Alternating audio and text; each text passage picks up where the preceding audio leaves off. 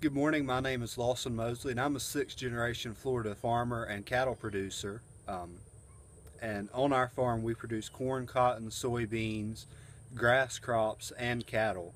And the question I'm answering is how do farmers make their seed choices? And that's something, it's a very complex question, and it's a little bit different for every farmer.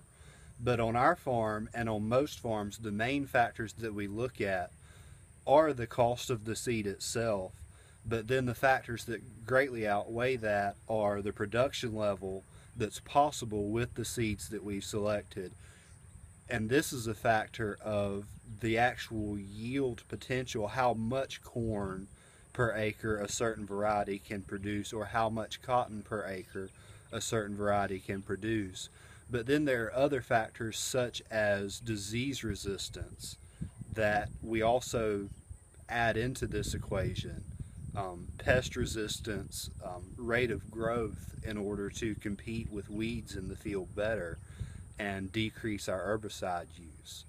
And one of the big things that we look at is in some crops, um, we have the Bt gene that allows for pest resistance to corn earworm especially, and the corn produces a protein that the earworm cannot digest, and so it's toxic. So after consuming a very small amount, the earworm dies before it can cause major damage.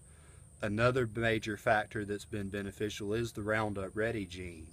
Um, Roundup is a non-selective herbicide that which means when you spray it, it kills most plants that it comes in contact with. And the Roundup Ready gene allows us to use Roundup in corn or cotton or soybeans or alfalfa and not harm the crop while killing the weeds that are present with only one chemical and often only one application. So that contributes to a decrease in the cost later in the season.